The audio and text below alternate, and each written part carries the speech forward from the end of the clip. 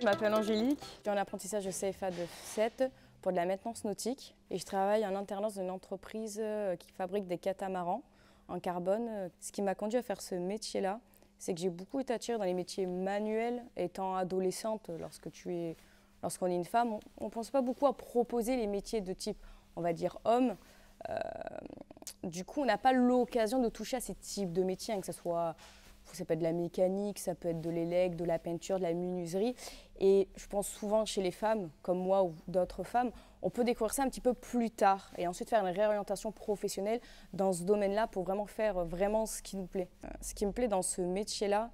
euh, déjà tout d'abord la polyvalence, déjà tout ce qui est s'enrichir, c'est-à-dire intellectuellement, et de se dire à la fin du travail, voilà, j'ai créé quelque chose, il y a un résultat à la fin, et c'est ça qui est très enrichissant. Mon quotidien euh, au travail, ça va être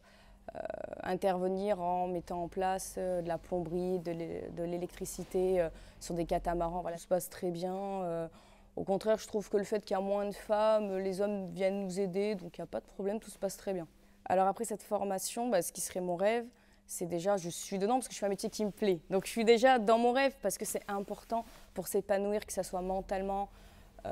et enrichissant pour plus tard, c'est d'être dans le métier euh,